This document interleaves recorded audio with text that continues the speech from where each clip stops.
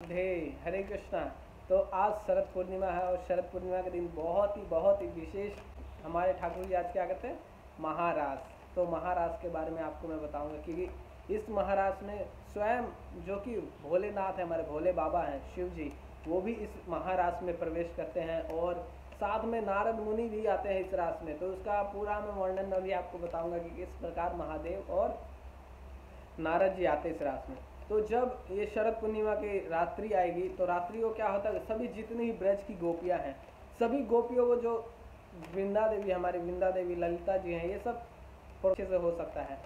तो ये सब फाइनल करते हैं और वृंदा देवी के अंडर कई लाख तोते हैं, जो कि डिसाइड करते हैं और वो बताते हैं ब्रज में कहाँ कहाँ क्या क्या अपडेट है तो आके वृंदा देवी को पूरा रिपोर्ट करते हैं। जैसे कि गुप्तचर गुप्तचर बोलते हैं ना तो गुप्तचर हैं वो। और वृंदा देवी को पूरा ब्रज का रिपोर्ट देते हैं कि ये ये वन है, ये ये उपवन है।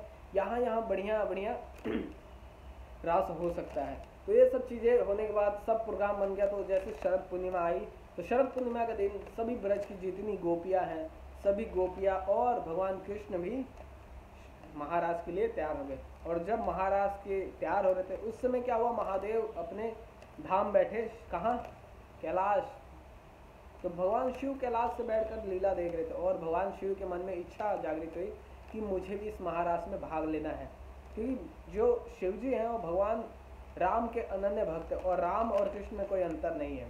तो शिव जी भगवान का कोई भी अवतार होता है तो सबसे प्रथम दर्शन शिव करने का जो अवसर है, वो शिव जी को प्राप्त होता है। मतलब भागवतम में बताया गया कि जब शिव जी ने ये इच्छा रखी तो उसमें नारद जी वहाँ से गुजर रहे थे और नारद जी से पूछा कि आप कहाँ जा रहे हैं?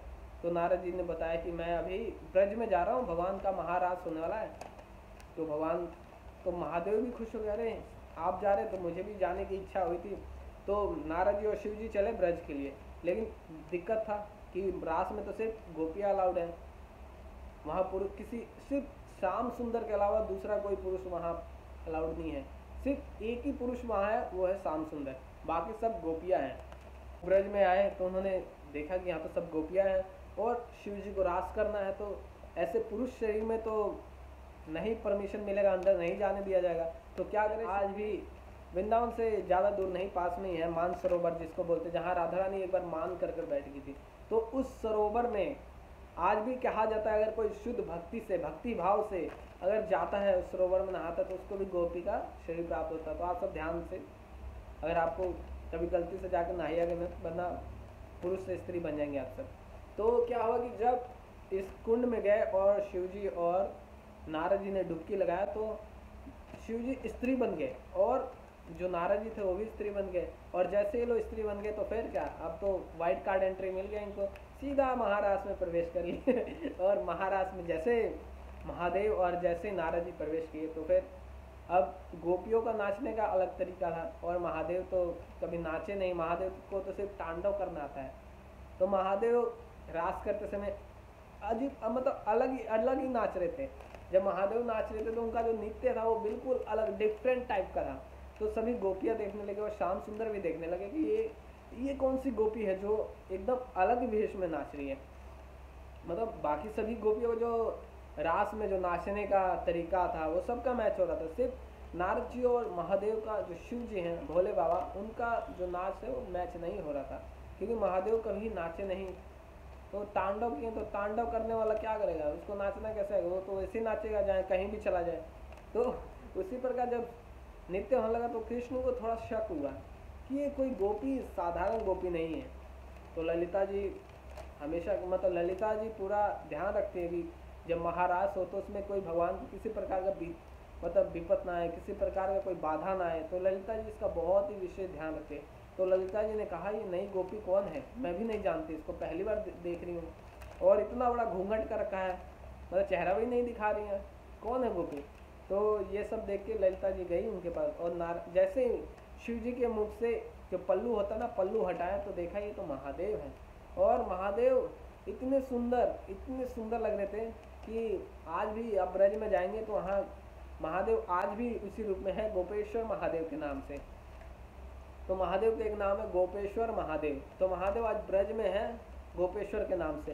तो जैसे ललिता जी ने ये सब देखा तो महादेव शर्मा गए और भगवान कृष्ण बहुत ही बहुत ही प्रसन्न हुए कि अरे, साक्षात भोले बाबा, साक्षात शंभू आए हैं मेरे रास में प्रवेश करने।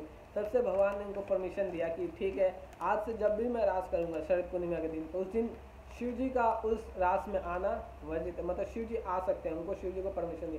तो भोले बाबा बहुत ही आनंदित हुए और नाचने लगे। भोले बाबा बहुत ही बहुत ही कृपालु, बहुत ही कृपालु है। क्योंकि वो वैष्णव है ना, वैष्णव का हृदय हृदय हृदय सदा कोमल रहता है। और वैष्णव होने के नाते शिव जी बहुत ही कृपालु हैं। और अपने भक्तों को कुछ भी इच्छा हो, एक मिनट में पूरा कर देते इतना नहीं सोचते हैं। देखिए, भगवान कृष्ण के कृष्ण की जो भक्ति करता है, जिनकी पत्नी लक्ष्मी है, लेकिन भगवान कृष्ण के जितने भक्त होंगे, सब कंगाल होंगे। क्योंकि भगवान उनसे सब छीन लेते हैं ऐश्वर्य, ताकि वो ऐश्वर्य में फंस के भगवान को ना भूल जाए। लेकिन जो महादेव के भक्त हैं, शिव जी के भक्त हैं, महादेव कहाँ रहते हैं? कैलाश में, पेड़ के नीचे, कोई घर नहीं है, ना महल है, कुछ भी नहीं है। लेकिन उनके भक्त सब करोड़पति मिलेंगे। क्योंकि महादेव अपने भक्तों की इच्छाएँ पूरी कर देते हैं, उनको जो चाहिए दे देते हैं, ताकि उनके पीछे ना पड़ा रहे। महादेव शिव जी क्या करते हैं? अगर कोई भक्त आया, उनसे कुछ मांगते तो महादेव फटाफट उसको दे के निपटाते हैं कि चलो हटो, ताकि उनको भजन करने में बाधा ना आए। तो इसी प्रकार आज भी शरद पूर्णिमा है तो आप सभी से मेरा प्रार्थना, अनुरोध है कि आज रात्रि को आप जागरण कीजिए और अधिक से अधिक हरि नाम का जप कीजिए। आप जिस नाम का जप करते हैं, हरे कृष्ण महामंत्र का जप कीजिए, राधा नाम जप करते हैं तो राधा नाम का जप कीजिए। आप जिस मंत्र का भी अगर जप करते हैं, उस मंत्र का अधिक से अधिक जप कीजिए और इस अगर इस काल में, जो ग्रहण काल में आप जप करते हैं तो उस जप का करोड़ों गुना फल आपको मिलेगा। तो आप सभी इस स्टोरी को अधिक से अधिक लोगों तक पहुंचाइए, जो कि देख सकें कि महादेव किस प्रकार कैलाश छोड़कर भगवान के रास में प्रवेश करने के लिए आए। श्री राधे, हरे